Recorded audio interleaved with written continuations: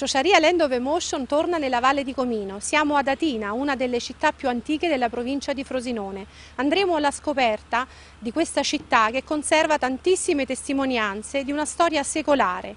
Una città che Virgilio nell'Eneide cita e definisce potens, potente. Raggiungiamo la nostra guida. Seguitemi.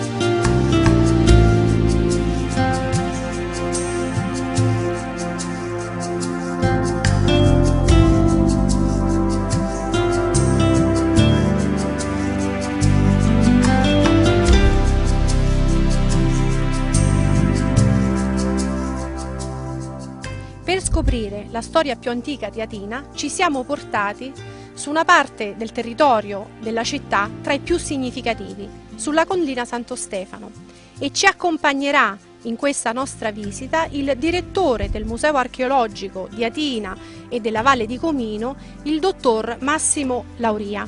Dottore, buongiorno. Buongiorno. Dove ci troviamo?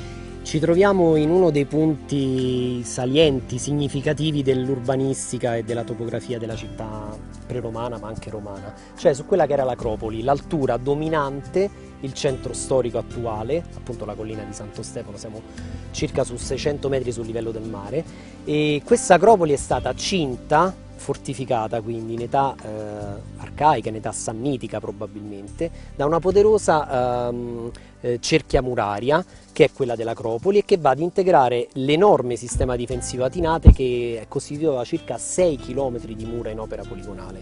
Qua alle mie spalle c'è un bel pezzo eh, di, di, cinta fortificatoria dell'Acropoli, eh, qui senza ulteriori commenti si capisce perché vengono chiamate mura megalitiche e si capisce anche perché nel passato eh, questo tipo di costruzioni fossero attribuite ai ciclopi, appunto per l'imponenza dei, dei massi eh, posti in opera.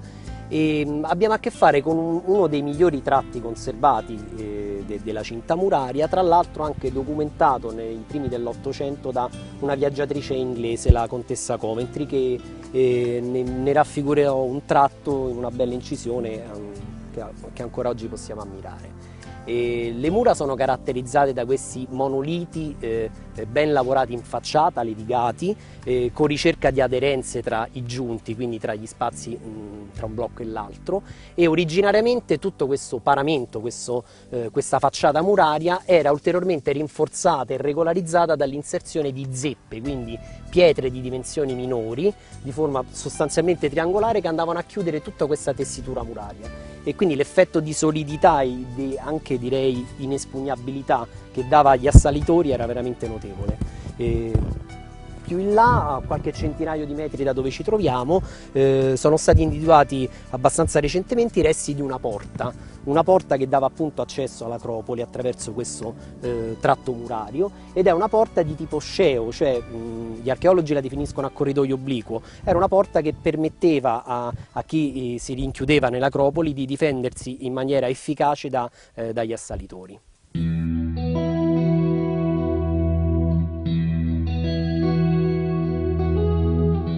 Música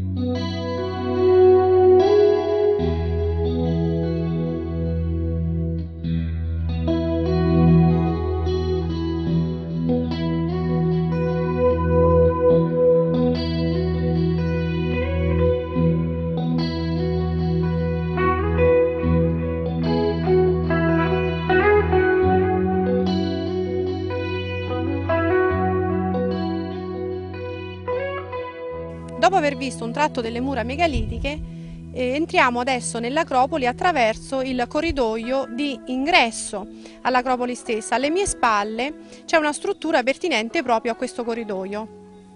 Si tratta di un uh, fianco residuo di questa porta a corridoio obliquo, questa porta a schema sceo che abbiamo detto, molto difficile da, da espugnare e, e, rappresenta un, punto di forza ma contemporaneamente anche di debolezza de, dell'Acropoli. Da qui appunto si è detto c'era l'accesso, quindi c'era la strada in salita grosso modo come l'attuale e, e c'era così la possibilità di salire sul punto più alto del, dell'abitato dove si trovavano i resti di un tempio, sicuramente un tempio, abbiamo anche lì i resti di basamento in opera poligonale e, ehm, questo però per quanto riguarda il, il circuito difensivo eh, settoriale, cioè quello che riguardava soltanto l'Acropoli. Se allarghiamo lo sguardo alle altre alture del paese, ci accorgiamo che eh, le mura megalitiche arrivano un po' dovunque, vanno ad inglobare eh, punti di eminenza orografica, quindi altezze anche notevoli, si arriva quasi a 900 metri, 800 metri eh, in località Casone Panetta, qui davanti a noi. E queste mura fanno con un percorso veramente tortuoso, sinuoso, vanno ad inglobare ad esempio anche a valle una sorgente, quindi ehm, nel complesso vanno a misurare oltre 6 km che per una cinta fortificatoria è notevole, racchiudendo una superficie intramurana, quindi quello che era richiuso all'interno delle mura era un'area di circa 120 ettari, quindi qualcosa di veramente poderoso. Siamo di fronte probabilmente a uno dei più grandi, il secondo eh, insediamento fortificato italico più grande, il primo si trova a Colli al Volturno qua vicino. Direttore, l'imponenza di questo sistema difensivo come si spiega e da chi è stata costruita quest'area? E il motivo di esistere di una fortificazione così poderosa, che va ad inglobare tutte le alture che ho, che ho nominato, ehm, risiede nel fatto che va a capisaldare questo centro eh, fortificato eh, direttrici viarie che vengono dal Cassinate, vengono dal Sorano, ma vengono anche da, dalle montagne del, dell'Abruzzo. Eh, quindi Atina eh, si trova mh, mm, a costituire un nodo delle percorrenze territoriali e quindi un caposaldo a controllo delle stesse chi l'ha fatto eh, c'è un'ipotesi eh, sicuramente eh, in favore dell'etnos sannitico perché eh, sono stati riscontrati eh, lungo il suo percorso di, di, questo enorme sistema fortificatorio elementi eh, come una porta mh, a corridoio obliquo, delle posterule, una torre quadrata che riconducono a un tipo di costruzione essenzialmente sannitico che ha ampli confronti nel Sannio. Quindi direttore adesso lasciamo il Colle Santo Stefano immerso in questo meraviglioso paesaggio e dove ci dirigiamo? E cerchiamo di visitare il cuore della città romana, nella località Spianata San Marco. Bene, la seguiamo allora.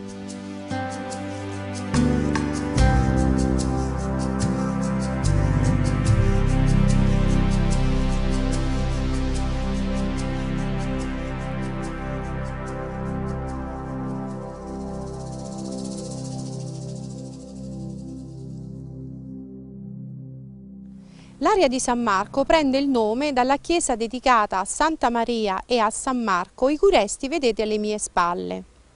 Qui c'è il cimitero vecchio di Atina. I reperti archeologici ed i ritrovamenti di epoca romana provenienti da questa zona della città sono così numerosi che gli archeologi la ritengono un'area di fondamentale importanza per la storia romana di Atina. Qui c'è la chiesa di San Pietro, probabilmente la più antica di Atina, che fu costruita dai cristiani su un ambiente a pianta rettangolare con abside. Esso presenta nelle parti più antiche l'opus mixtum, cioè una tecnica di costruzione usata dai romani che prevedeva l'uso di laterizio e di pietra. Eh, la tipologia dell'ambiente fa pensare ad una struttura di tipo termale che doveva esistere in quest'area prima della costruzione della chiesa cristiana. Ancora nei pressi dell'area di San Marco c'è un tratto di basolato romano, testimonianza di una viabilità diretta verso la zona più bassa della città di Atina, dove ancora oggi si possono ammirare resti di tombe romane visibili sia su via dei Sanniti e sia sul territorio a confine tra Atina e Casalvieri detto le Muracce.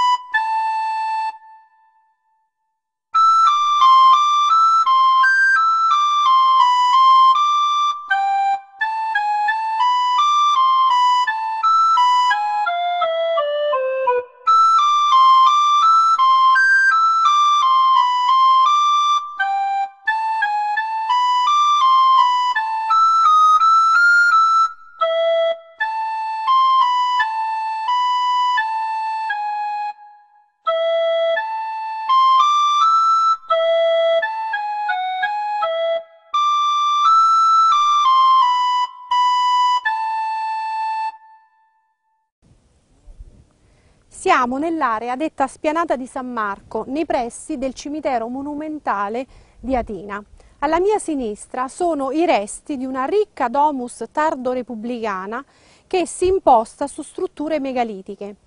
Il sito è interessato adesso da un eh, intervento di recupero da parte della Soprintendenza per i beni archeologici del Lazio.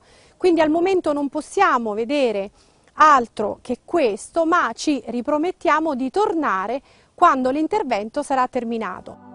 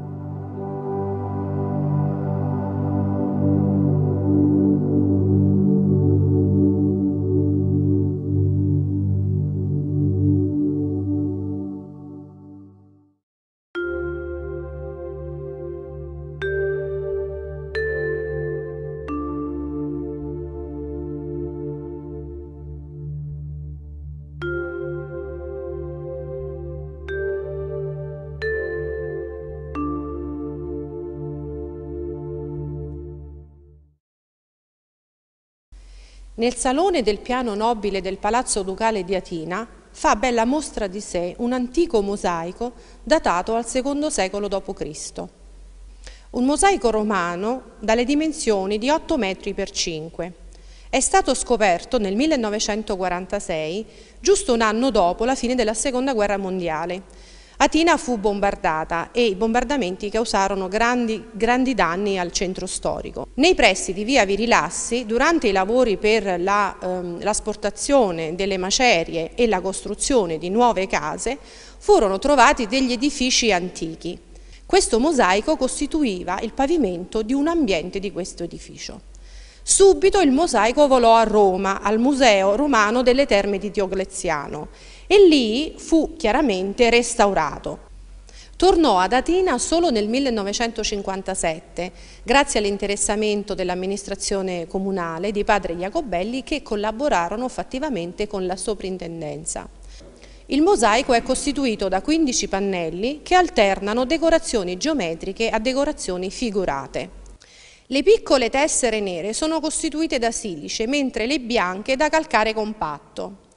All'interno ehm, le decorazioni geometriche sono costituite da rombi su campo bianco attorno ai quali eh, sono state raffigurate delle delicatissime foglie di edera, i rombi si alternano ai dei meandri eh, neri su campo bianco.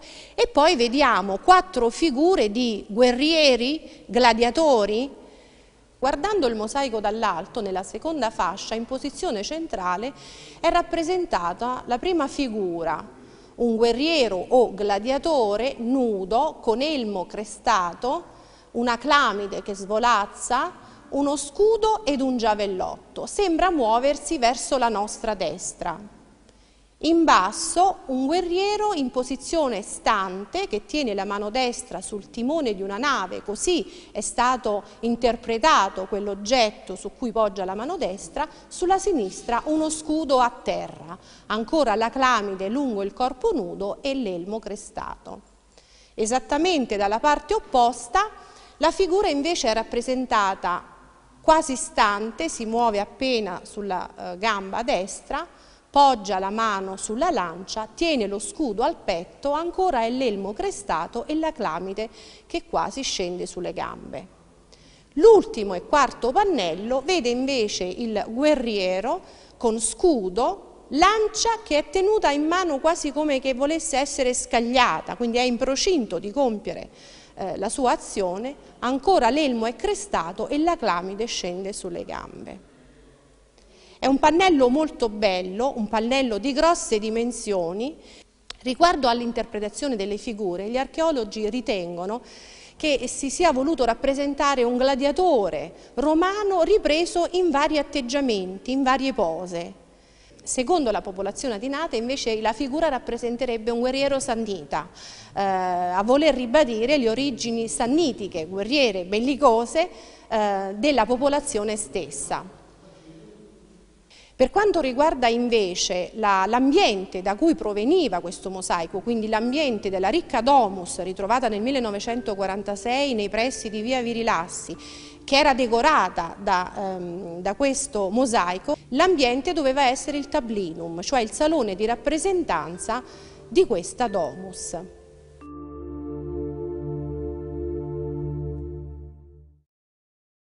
Siamo ancora nell'area della spianata di San Marco e qui possiamo ammirare testimonianze di epoca romana. Direttore, alle nostre spalle c'è un bel esempio di opera quadrata. Sì, qua all'interno del cimitero vecchio di Atina eh, sono presenti alcune vestigia di età romana, imperiale in particolare, e abbiamo l'attestazione dell'opera quadrata mh, mm, che diverge eh, nella forma e nella lavorazione dei blocchi dall'opera poligonale vista finora.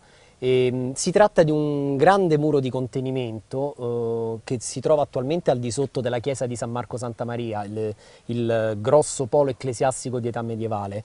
E, ehm, questo muro di contenimento, tra l'altro rafforzato anche da eh, eh, contrafforti laterizi, ehm, dovrebbe avere la funzione di eh, sostruire, quindi di contenere un, una platea o comunque un edificio di, di carattere monumentale. Siamo mh, con ogni probabilità nell'area del centro monumentale della città romana, quindi da queste parti doveva trovarsi in qualche modo il foro. In quest'area eh, le fonti agiografiche medievali parlano di un tempio di Saturno eh, che era sottoposto all'attuale chiesa di San Marco Santa Maria. Eh, quanto sia vera poi eh, l'esistenza di questo tempio viene messa in dubbio da, dalla stessa esistenza del dio fondatore mitico di eh, numerose città qua nel Lazio meridionale. La figura di Saturnus Conditor, cioè di, del padre Saturno fondatore di città, eh, deve essere ridimensionata in quanto fatto erudito ehm, che parte fin dal Medioevo e viene sviluppato da scrittori del 6 del 700. Eh, certo è che una struttura di questo tipo eh, evidenzia carattere monumentale e quindi doveva essere sicuramente alla base, doveva, doveva costituire il basamento, deve essere la base di un tempio o comunque di un'area forense. Bene direttore, allora per completare questo viaggio alla scoperta dell'archeologia di Atina ci trasferiamo nel museo. Va bene, vi accompagno. Grazie.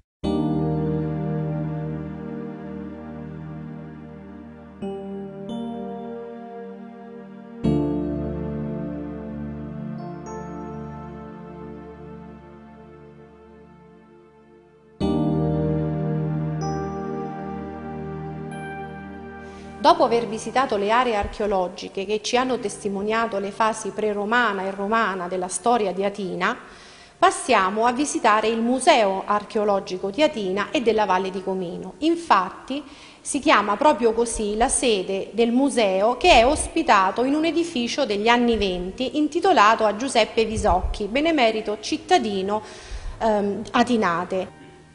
Questo edificio in passato ha ospitato la scuola elementare di Atina. Oggi qui ha sede il Museo archeologico al primo piano e al piano inferiore la Biblioteca Comunale.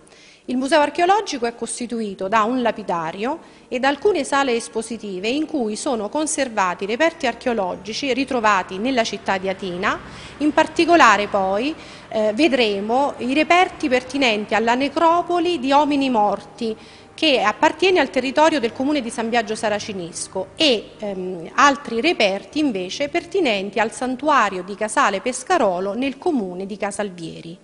Tutto questo lo eh, andremo a scoprire ancora in compagnia del direttore del Museo archeologico, il dottor Massimo Lauria. E cominciamo proprio da un'epigrafe, vero direttore? Sì, abbiamo scelto queste epigrafe eh, tra le più significative e più importanti della collezione epigrafica del lapidario in cui viene nominato il benemerito cittadino Tito Elvio Basila, un personaggio noto anche dalle fonti classiche, ne parla Plinio il Giovane, eh, che ha ricoperto importanti incarichi nell'ambito dell'amministrazione imperiale. E questa dedica è stata fatta da sua figlia Elvia Procula, come si evince dall'ultima riga, ed è importante per, perché testimonia il più antico legato, cioè la più antica fondazione testamentaria che si conosca. Cioè questo personaggio non ha fatto altro che lasciare, come indicano questi simboli, 400.000 sesterzi, quindi una somma mh, non, non irrilevante, in eredità agli Atina, ai figli degli Atinati più che agli Atinati, come, come è spiegato qui.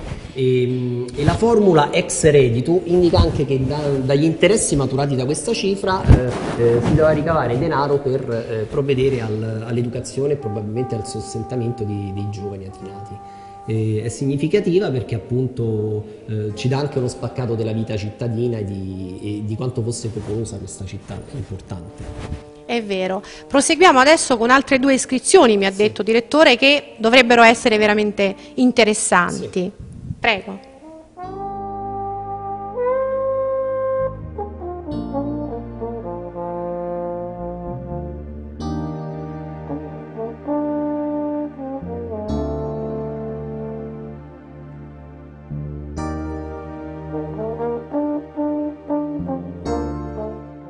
Come secondo pezzo epigrafico significativo del lapidarium abbiamo scelto qui un'iscrizione sacra dedicata alla sacerdotessa Munnia, una sacerdos cerialis, quindi una sacerdotessa eh, della divinità Cerere. E abbiamo infatti qua raffigurati, e questa è la, cosa, la caratteristica, la cosa curiosa di questi epigrafi, proprio tutti gli strumenti sacrificali che servivano per, eh, per, per fare sacrificio alla divinità. Abbiamo il cultellus, eh, che serviva per uccidere eh, la scrofa, animale sacro a Cerere. Quindi un altro spaccato in questo caso di vita sacra, di vita eh, presso un tempio eh, che doveva essere qui ad Atina eh, e che ci dà appunto la misura della vitalità de della città romana.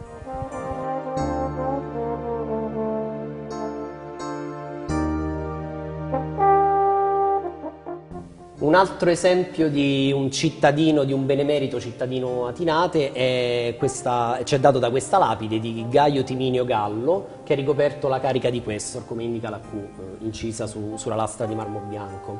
E abbiamo anche l'indicazione nella sua formula onomastica della tribù a cui era iscritta eh, Atina, la Ter, la Teretina tribù, la tribù elettorale. Eh, si tratta quindi di, un, di, una bella iscrizione molto calligrafica, possiamo dire, eh, di età augustea, eh, che successivamente però ha, ha, ricevuto un utilizzo abbastanza particolare. Eh, è stata infatti smantellata dalla tomba originaria in cui si trovava ed è stata riutilizzata da, da due genitori per... Um, per realizzare la lapide tombale del proprio bambino scomparso in, in tenera età. Ci troviamo con quest'altra iscrizione in un'epoca molto più tarda, secondo terzo secolo d.C., come indica anche eh, la grafia, la, la, forma delle lettere molto meno accurata. Eh, abbiamo in questo caso le, eh, due facce comunque della stessa realtà cittadina che è fatta sempre di, di personaggi che vivono e che muoiono. E questa è proprio la bellezza della visita che facciamo oggi ad Atina, grazie alla disponibilità del direttore Massimo Lauria, i reperti archeologici eh, di questa antica città ci parlano ancora di una vita che è trascorsa ma che rimane ferma nella nostra memoria. Adesso, direttore, ci rechiamo nelle altre sale dove eh, sono sicura eh, ci saranno ancora cose eh, particolari ed interessanti. Andiamo.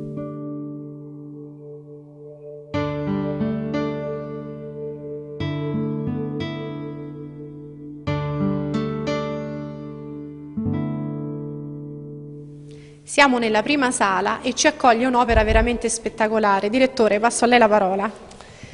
Questo è il pezzo forte del museo, diciamo, è quello che la gente del posto ama molto, in quanto originariamente questo leone funerario in pietra si trovava in una strada poco fuori qui del paese che porta verso Cassino, eh, che si è stata sempre chiamata e si chiama tuttora Via del Leone. E, mh, dico che la gente del posto è affezionata al pezzo perché eh, diciamo quasi tutti gli atinati hanno una foto a cavalcioni di questo leone. E, mh, da un punto di vista invece dell'iconografia abbiamo la rappresentazione di questo uh, mastodontico felino con tutta la criniera, con la caratterizzazione delle zampe, una delle quali tra l'altro eh, sovrasta la testa di un cinghiale e abbiamo la coda arrotolata dietro la coscia posteriore, quindi c'è tutta una posizione anche abbastanza canonica eh, di un'iconografia che è diffusa in età ellenistica in tutto il centro Italia.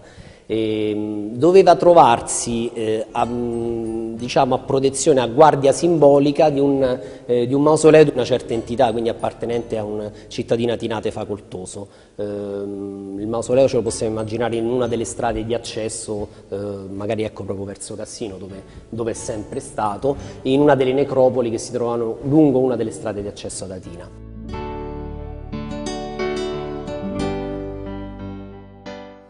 Abbiamo visto in precedenza l'imponente circuito murario in opera poligonale della Tina preromana e adesso entriamo in contatto con i reperti archeologici che sono le uniche testimonianze pervenute fino ad oggi della vita delle popolazioni eh, di quest'area della Valle di Comino in età arcaica.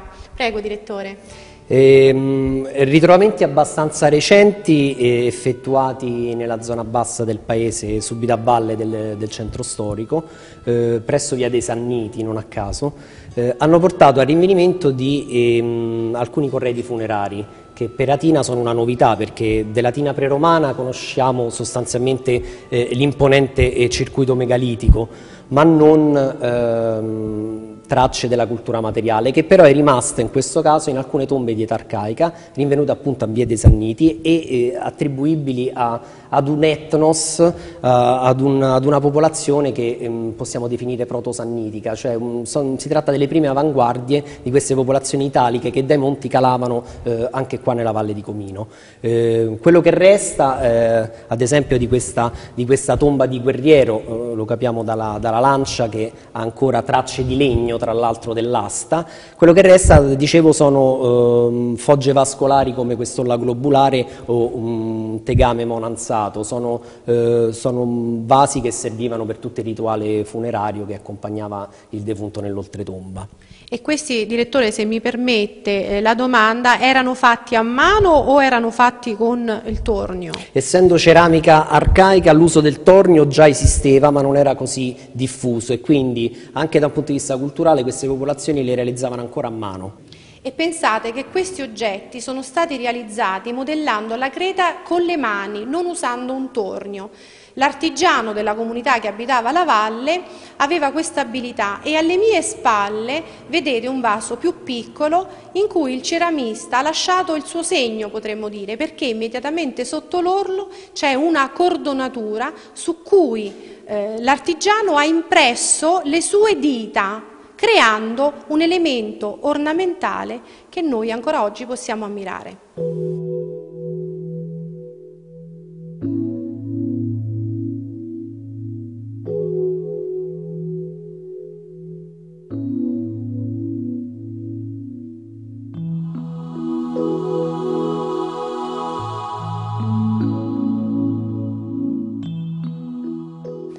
Questa sala del Museo archeologico di Adina e della Valle di Comino, eh, nelle teche sono conservati i corredi funerari provenienti dalla necropoli di San Biagio Saracinisco e possiamo eh, ammirare una eh, serie veramente interessante di eh, ceramiche che ci mostrano le diverse eh, tipologie nelle forme ehm, di questi oggetti e anche nelle tecniche di realizzazione. Eh, si va infatti dal bucchero etrusco alla figulina e alla ceramica d'impasto, come potete ammirare dalle immagini.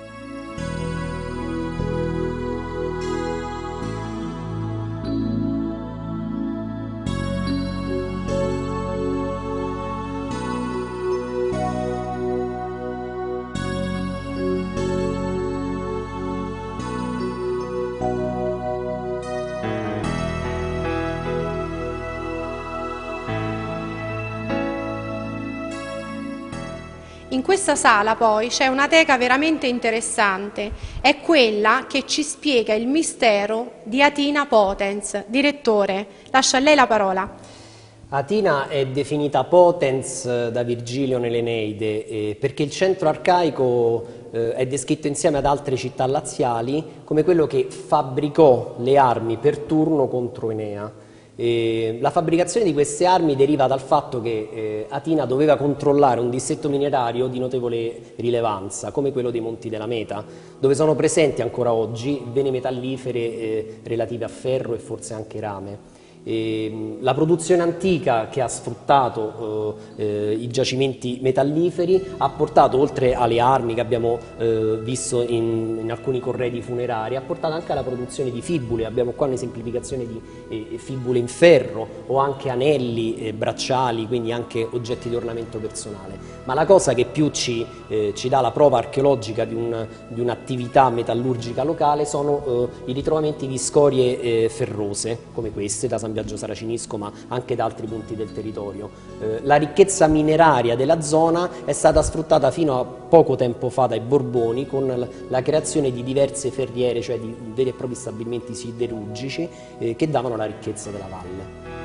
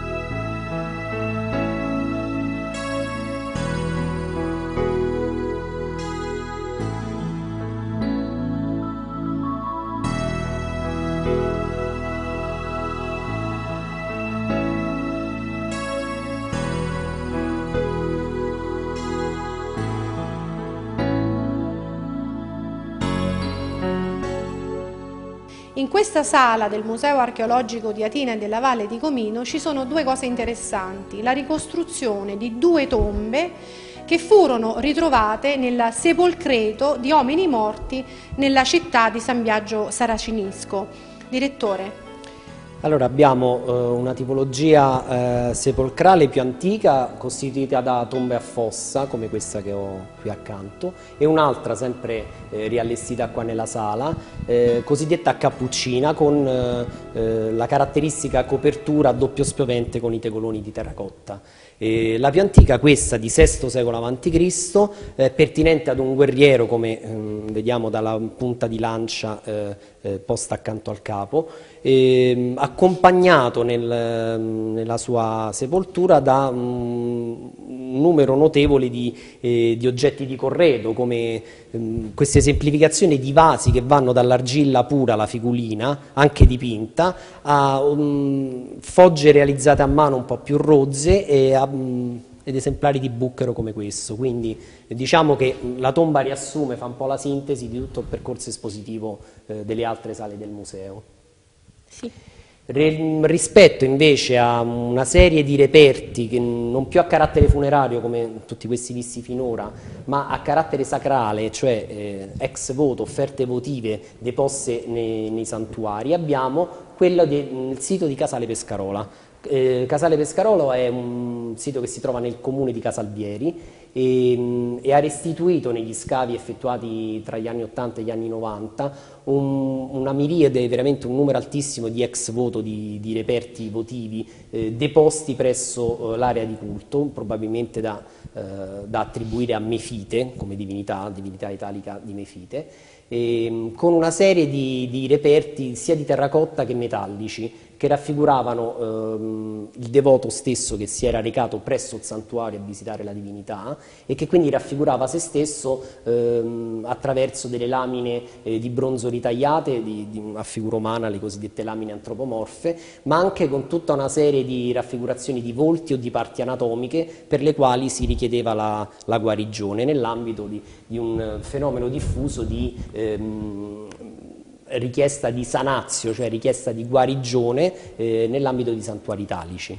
Tra gli ex voto fittili, quindi di terracotta, eh, si possono distinguere, questa è la cosa interessante, due filoni eh, nel senso eh, il devoto eh, che abbracciava la cultura ellenistica, il devoto anche un po' più, possiamo dire, acculturato, ehm, preferiva rappresentarsi e quindi lasciare segno della propria presenza nel santuario attraverso statuette di foggia greca, con, con, gli stilemi eh, storico-artistici tipicamente greci, quindi con acconciature, con tratti somatici del volto eh, riconducibili all'arte greca, l'arte ellenistica in particolare. E, però c'era anche tutto un, uno strato della popolazione, diciamo anche meno acculturato, meno ellenizzato, eh, che rispecchiava più il carattere eh, originario italico e, e che quindi eh, utilizzava e, e deponeva eh, presso il santuario eh, oggetti e raffigurazioni antropomorfe diciamo molto popolareggianti come, come, stilemi e come canoni artistici. E abbiamo questa serie di pupazzetti che scherzosamente vengono chiamati anche UFO in quanto sono, sono molto buffi come realizzazione di orecchie, occhi, testa e, e si tratta del filone più popolare rispetto all'arte aulica. Bene, con questo terminiamo la puntata di oggi. Direttore, la ringraziamo. Grazie a voi. Grazie per averci accompagnato in questa giornata dedicata all'archeologia, ad alcune delle emergenze archeologiche della città di Atina, per essere stato il nostro cicerone alla scoperta di questo museo archeologico che so adesso sta per cambiare veste. Diventerà un museo allargato anche della Valle del Liri, oltre che della Valle di Comino. Ci lasciamo con una cartolina con le più belle immagini della puntata di oggi e io vi do appuntamento alla prossima puntata di Ciociaria Land of Emotion.